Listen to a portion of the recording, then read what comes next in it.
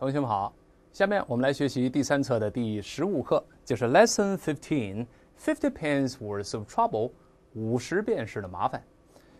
这为什么有人会花钱去买麻烦呢？咱们看究竟是怎么一回事情啊？当然，看课文之前，按照惯例，咱们先看看这个书的生词和短语部分。首先，打开书到第七十页，Please open books at page seventy。七十页，动作快一些啊！我们把这个书生词短语跟老师大声先读一遍。Now read after me. Appreciate. Appreciate. Pocket money. Pocket money. Rattle. Rattle. Thrifty. 这个词注意，出现了 t 是这个拼写，舌尖儿要吐出来一点儿。在牙齿之间吐出那么半厘米就行，不能吐的太多。Thrifty，下边人一跳成蛇了啊！ 吐出那么半厘米往回一收，就舌尖跟上牙轻轻蹭一下，体会这个动作。Thrifty，Thrifty，哎，这个感觉啊！再往后走，Nephew，Nephew，Bounce，Bounce，Pavement，Pavement。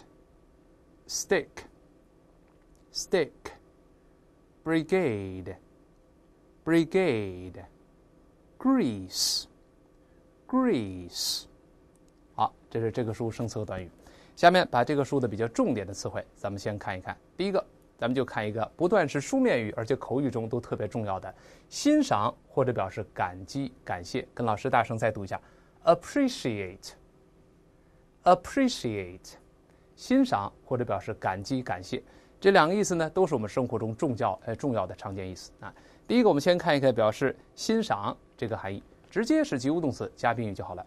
比如说，appreciate music，我们直接翻译成欣赏音乐来。appreciate wine，咱们一般中文可以翻译成品酒，哎，其实也是咂摸酒的滋味，呵，好酒啊！欣赏这个酒呢，叫品酒。当然，这个词也完全可以表示感激或者表示感谢。那么常见搭配呢？我们看有这么几个，比如说第一个，我们常说：“哎呀，我感谢您的帮助。”依然是及物动词，直接加宾语。I appreciate your help. I appreciate your help. 这个比 Thank you 要来的更加庄重一些。我们在陌生人或者跟厂家谈话，或者跟上级在说 I appreciate your help，哎，这个比较庄严一些，比较庄重一些。有的时候呢，稍微简洁一点，也可以把它写成 I appreciate it，I appreciate it，这个比较简洁的这么一个版本。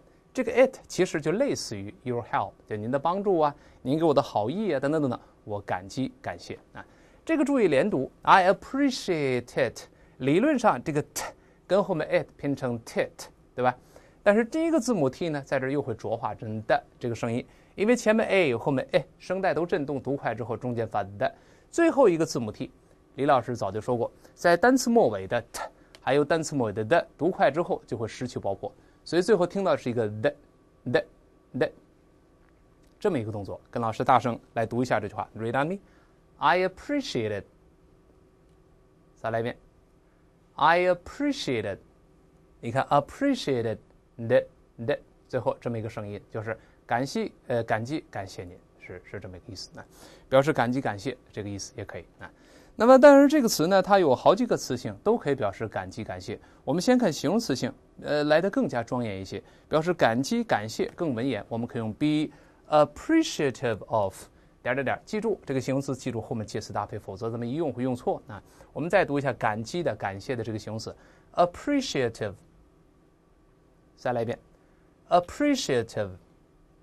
一定记住，我们背的时候干脆把搭配背下来，背成 be appreciative of。Be appreciative of, be appreciative of，大声读五遍，直接就背起来了，表示感激感谢。那马上就可以用了。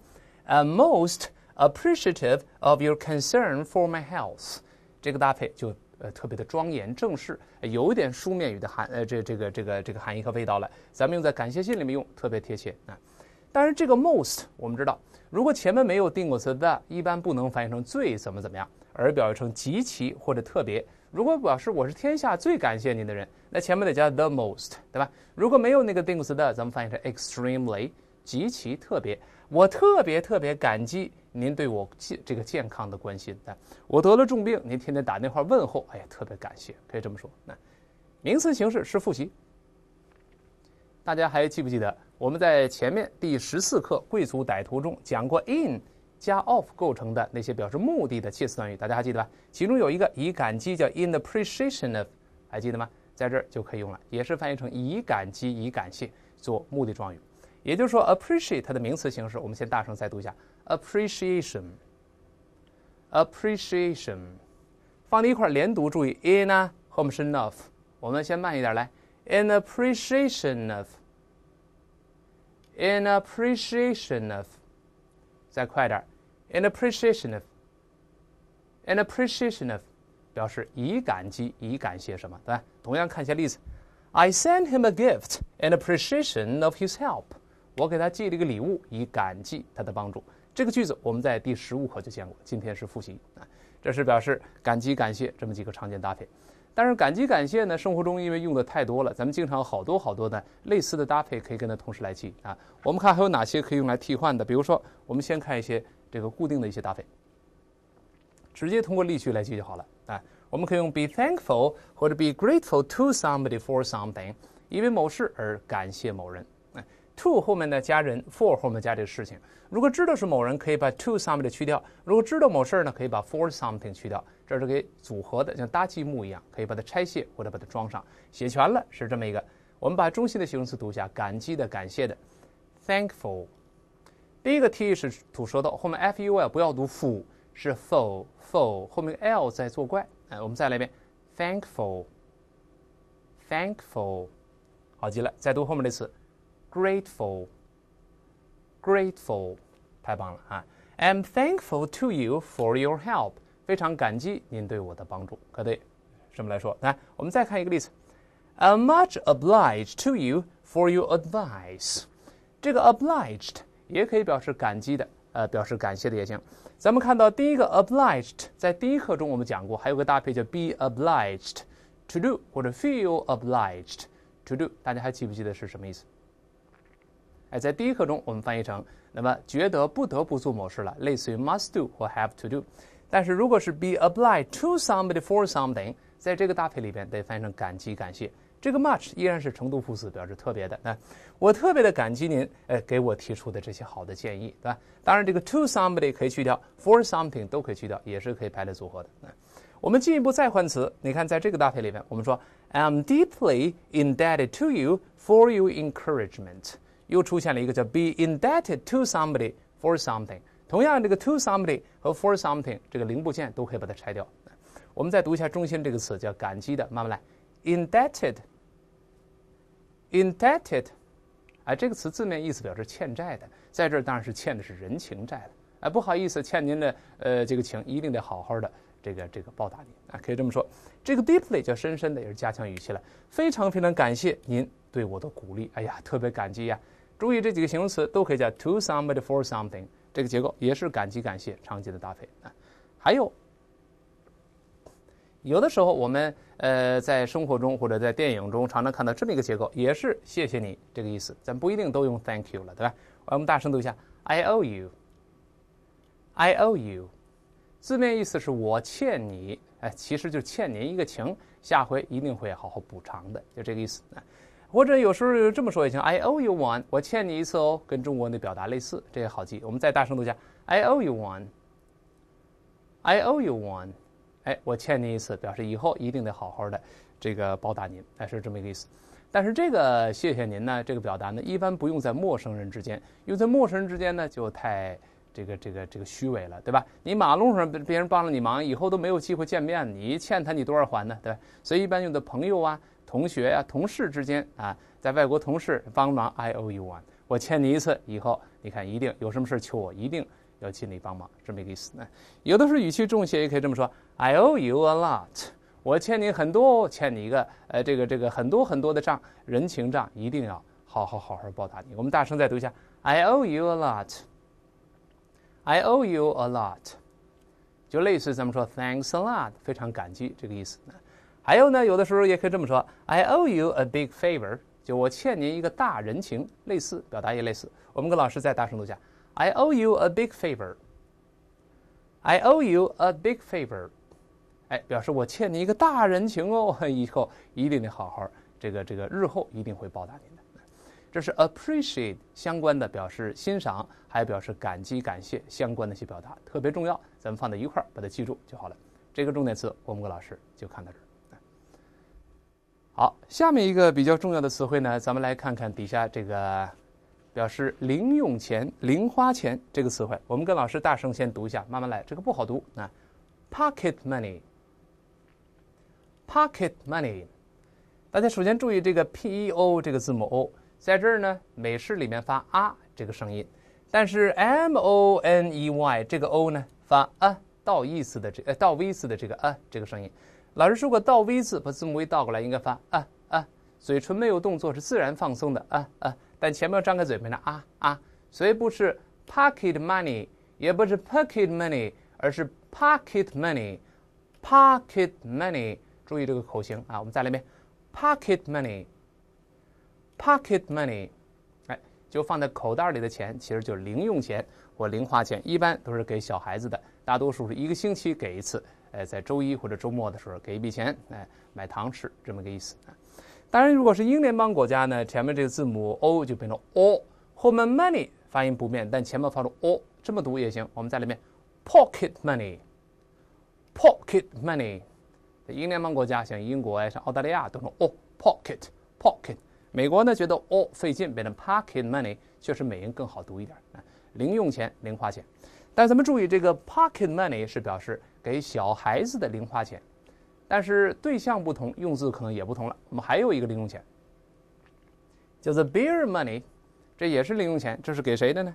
哎，咱们一看就知道了，这是给老公的零用钱，或者是给男朋友的零花钱。那这零用钱就是我们钱都不都不分家了，呃，这个月给点零花钱，哎，去买酒喝，啤酒钱，但不一定是买啤酒了，你什么喝买买烟卷、吃烤串都行。就花去吧，去吧，哎，就这么一个，就是给男人的零用钱，叫 beer money，哎，有趣，很有趣，这可以同时记住。那那大家推测一下，给女人的零用钱用哪个字？你发现英文中根本没有这样一个习语，为什么呢？因为钱都在女人那儿，他们不用零用钱啊，所有的钱都在他们那儿，他管账的吗？哎，这两个词记住就行了，给儿子的，给女儿的，还有给老公的，但是没有给老婆的啊，这个把它记住。下面我们再看一看这个跟 pocket 相关的一个一个搭配，叫偷某人的钱，尤其保持掏包这种呃偷偷偷钱的这个动作。我们大声读一下这个词，那我们慢慢来，pick one's pocket pick one's pocket，这个表示这个偷某人钱，但这个偷钱一定是表示从口袋里两个手指夹住，嘣儿往上面一提，把钱拿走了，叫 pick one's 呃这个 pocket，my cup my pocket 啊 has been picked。我的包被人给掏了，是这么一个。这个 P I C K pick 这个动作本来表示两个手指夹住往上一提这么一个动作。你看那个采茶的动作叫 pick tea，采茶对吧？踩着猜呀猜呀，快猜茶，两个手指夹住，嘣儿那么一揪，把这茶叶尖儿给它揪掉。那还像那采棉桃 pick cotton 也是用这个这这么一个动作。那这掏包嘛，动作类似，所以这是偷某人的钱。那么这样的小偷我们叫扒手。直接我们记住这个词就好了，跟老师大声读一下：pickpocket。pickpocket is a kind of thief，这是一种特殊的贼。这个 thief 表示各种贼都行，但是这个 pickpocket 表示这个扒手，专门表示在别人口袋里掏钱的这种贼。这个词是可数的。我们经常说当心小偷，当心有扒手，watch out，当心就 watch out，当心什么？后面加个介词 for，watch out for pickpockets。这次可数的后面加复数，Watch out for pickpockets！注意，哎，这附近有扒手，注意有小偷就好了。那么还有一个习语呢，也是把钱和这个口袋都放在一块儿，叫 Money burns a hole in one's pocket。字面意思是钱在某人的口袋会烧一个洞。嗯，这固定搭配的，我们大声读一下这段语：Money burns a hole in one's pocket。Money burns a hole in one's pocket，就是钱在某人的口袋上会烧一个洞。嗯其实就表示这个人总也存不住钱，花钱如流水啊。我们中国有句俗语叫什么呢？这个人是怎么样？这个人是烧包。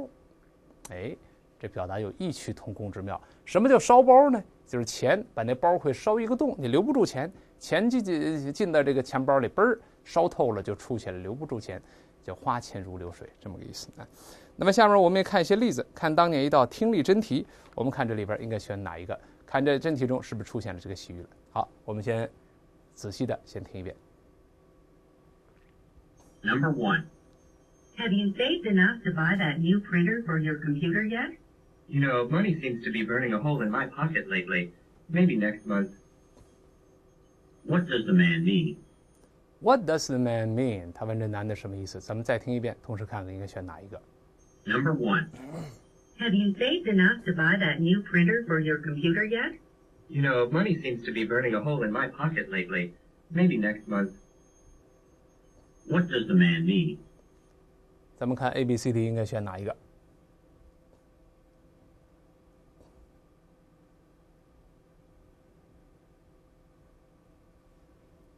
好了，我公布答案，正确答案是 A 选项。He doesn't have enough money to buy a printer now。他现在没有足够的钱来买一台 printer，就是打印机啊。为什么选 A？咱们把原文再看一看，看着原文，咱们再听一遍。Number one.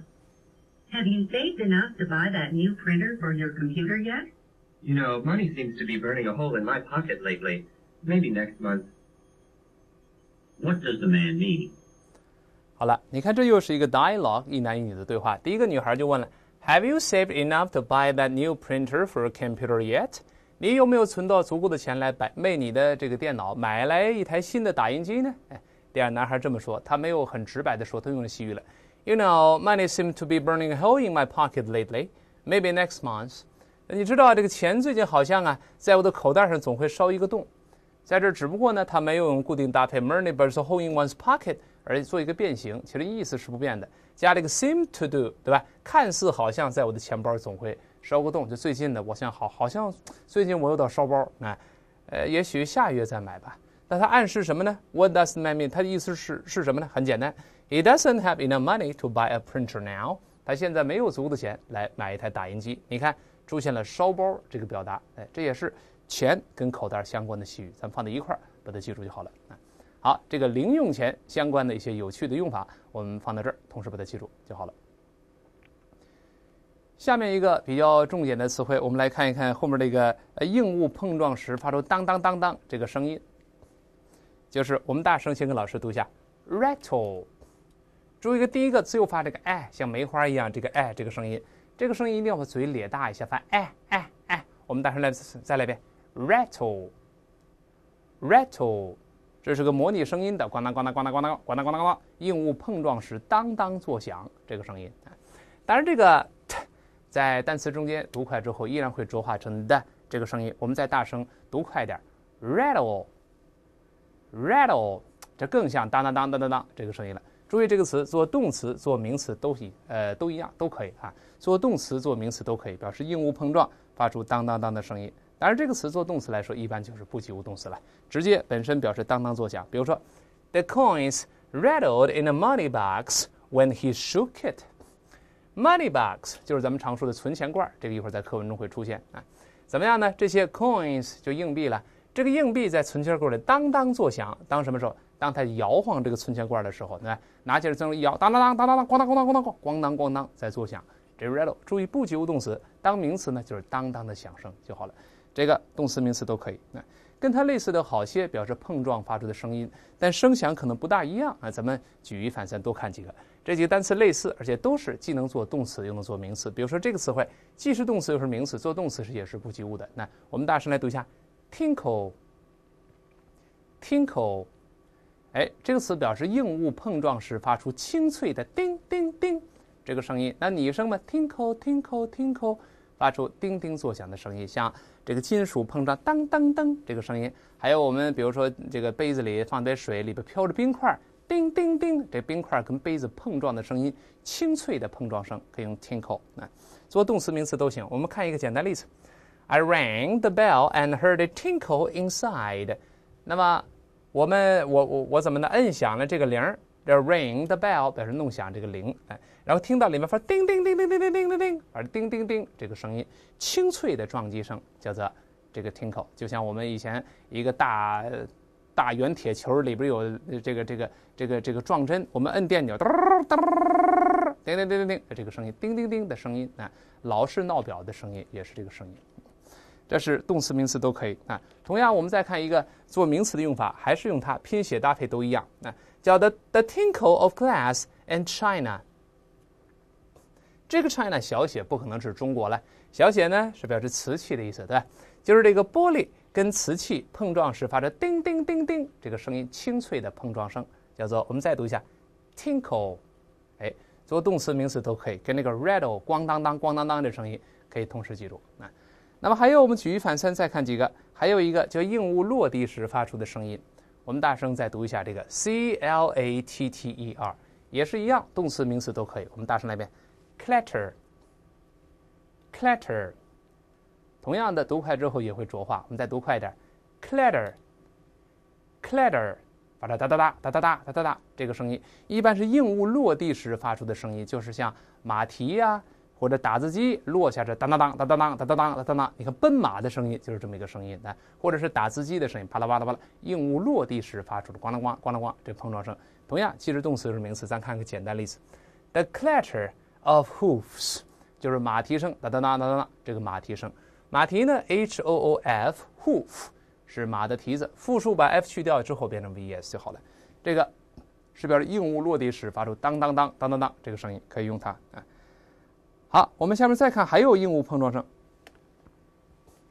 这个一般表示大钟的声音，表示那些洪钟大吕，咣咣这种声音。你听这口型就大了，我们大声来遍，chime。Chime，哎，咱们一般指大钟的声音，用它更好一些。那比如说，你看，The church bells chimed in the square，这个教堂的那些大钟在广场上发出咣咣咣这个声音。哎，教堂的钟叫 church bell，那么 square 是广场了，发出咣咣咣，呃，震耳欲聋的这个巨大的声音。我们再来读一下 chime，同样做动词、做名词都可以。最后一个声音更大一点儿，你猛力的关门关窗，咣这么一声巨响，这个我们一看是老朋友了，在第十三课的生词中咱们就见过，这两个词同时意思一样，而且都是既可以做动词又可以做名词。我们再大声再读一下 slam slam，。第二个词发音，我相信大家都知道了，不要读 bang，对吧？再来一遍，bang，bang。前面字母也要呃咧嘴发哎，最后拱舌跟 ang 啊，bang 这个声音，做动词名词都行啊。你看，比如说做动词，don't slam the door，或者 don't bang the door，不要咣当咣当去摔这个门，可以这么说。当名词也行，the door shut with a slam，或者 door shut with a bang 啊，这个门咣当一声，门就关上了。这几个表示硬物碰撞发出的声音，咱们总结到一块儿，我们一块儿记，这个效率会更高一些。好，这个。呃，硬物碰撞时发出当当的声音，这个呃，rattle 这个重点词，我们跟老师就看到这儿。